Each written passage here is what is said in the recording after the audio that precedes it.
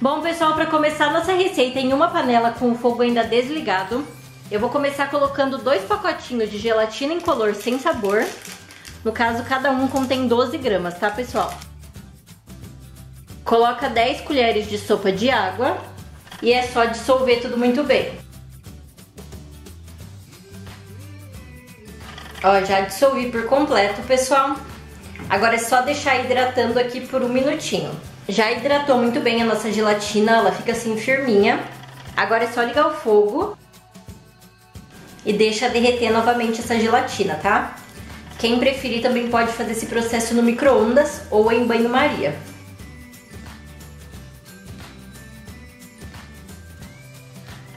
Ó, já dissolvi por completo a gelatina, pode desligar o fogo e deixa aqui reservadinha por enquanto, tá?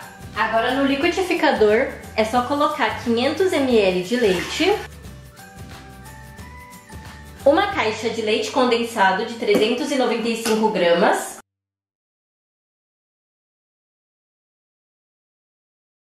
uma xícara de 240 ml de leite em pó, pode ser o leite em pó da sua preferência, tá pessoal? E a nossa gelatina incolor já dissolvida.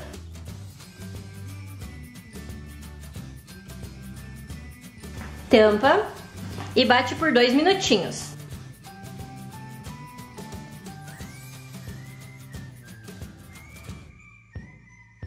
Já bateu tudo muito bem. Agora aqui eu já tenho a travessa e um pacote de bolacha de maisena. Eu vou ir triturando essas bolachas, tá, pessoal? Vou colocar aqui, ó, e vou triturar ela, tá? Só que em pedacinhos assim maiores.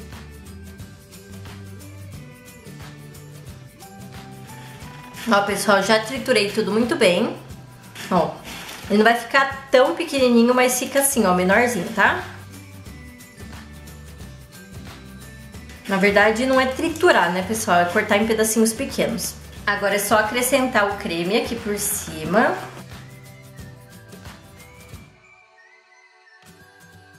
Olha só que maravilha, pessoal. Deixa eu dar uma arrumadinha aqui com a espátula. Agora, pessoal, é só levar lá na geladeira por cerca de duas horas ou até que você perceba que já ficou tudo bem firminho. Aí depois eu volto pra finalizar com vocês, tá? Bom, pessoal, nossa sobremesa já ficou bem firminha. Agora aqui por cima eu vou polvilhar um pouco de leite em pó pra dar um charme, tá? Mas é a critério de vocês, quem não quiser não precisa.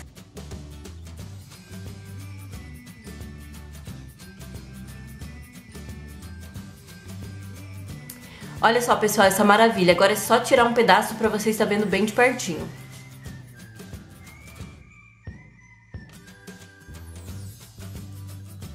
Olha só isso, pessoal, bem de pertinho aqui pra vocês. E esse é o resultado final. Espero que vocês tenham gostado.